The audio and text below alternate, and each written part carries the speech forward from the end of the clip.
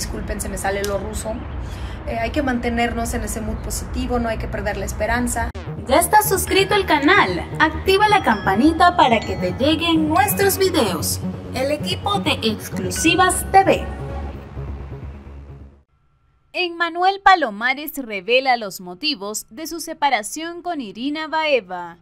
Recientemente, Irina Baeva recordó el noviazgo que mantuvo con el actor Emmanuel Palomares. En una entrevista con Jordi Rosado, la rusa comentó que le dolió cuando terminó la relación con el venezolano, ya que no le había dado una razón por la que había tomado esta decisión.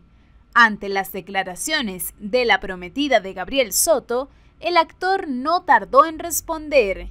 En una entrevista con People en español, Emmanuel Palomares también dio su versión y reveló las razones por las que tomó la decisión de poner fin a su romance con Irina Baeva, con quien estuvo tres años.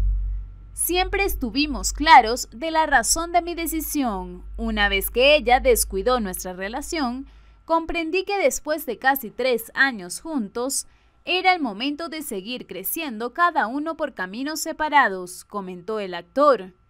A pesar de que su relación terminó hace algunos años, Emanuel Palomares mencionó que siempre tendrá un lindo recuerdo de Irina Baeva. Hubo mucho amor y respeto entre nosotros, y de Irina siempre tendré muy bonitos recuerdos.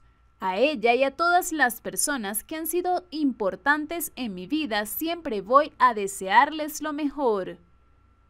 En la entrevista con Jordi Rosado, Irina Baeva no pudo contener las lágrimas al recordar lo mucho que sufrió tras terminar su relación con Emmanuel Palomares, con quien intentó arreglar las cosas, sin embargo esto no sucedió.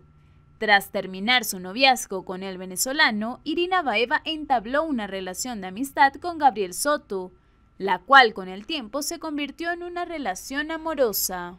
Podemos hacer en esta época de cuarentena. Yo por mi parte les mando mucho amor, muchos besos y, y nada.